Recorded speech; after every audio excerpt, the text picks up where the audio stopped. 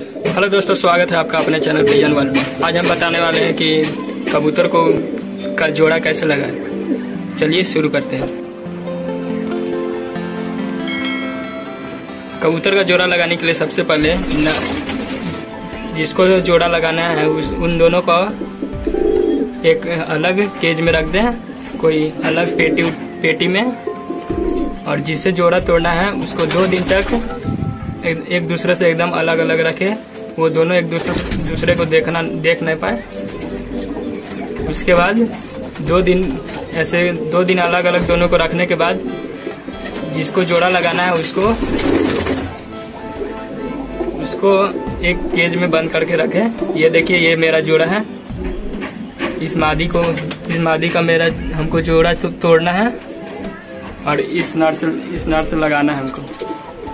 सबसे पहले तो इसको दो दिन अलग रखना है, एक अलग केज में। इसके बाद इस मादिन को एक दिन एक दिन के लिए इस नर के साथ रख देंगे। एक ही दिन में सिर्फ़, एक ही दिन में जोड़ा लग जाता है। चलिए आपको दिखाते हैं कैसे।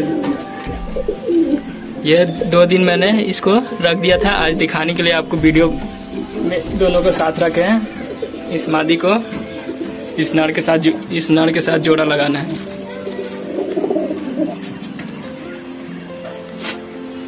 इन दोनों को एक दिन बंद करके रख दें और दाना पानी जब खाना हो तभी निकालें। चलिए इसको बंद कर देते हैं। इसको कल आपको दिखाते हैं। ये जोड़ा लग के तैयार रहेगा पूरा। चलिए, कल आपको वीडियो कंटिन्यू करते हैं। तो ये देखिए दोस्तों इन दोनों का जोड़ा लग चुका है। ये देखिए ये दोनों का अब जोड़ा लग चुका है पूरा एक ही दिन में लग गया। कल आपको दिखाते हैं कि कैसे जोड़ा लगाना है। ये देखिए पूरा मादी फैल रहा है। ये जोड़ा लग के पूरा तैयार है। अब अब उस नड़ को कहीं कि, किसी और मादी से लगाएँगे। ये देखिए पूरा ये जोड़ा लग के तैयार है। इसको अभी भी एक दिन और बंद करके रखेंगे। इसको चलिए बंद कर लेते हैं। ये देखिए, ये पूरा जोड़ा लग के तैयार है।